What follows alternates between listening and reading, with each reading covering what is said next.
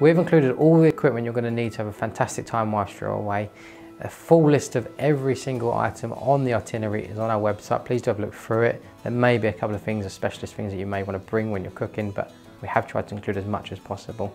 If there's something we haven't included that you think we should, let us know.